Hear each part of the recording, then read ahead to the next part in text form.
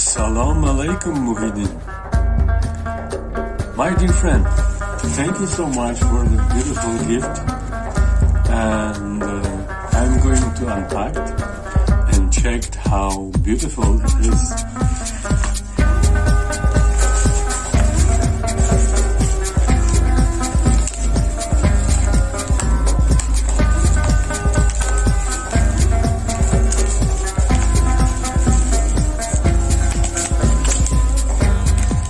Okay, I am back because it was necessary to clean uh, some parts of the wood from the tape. It was uh, some glue. But thank you so much. I am so happy. It looks amazing and like Darbuka. But okay, I need to put it the bridge and uh, I will try to.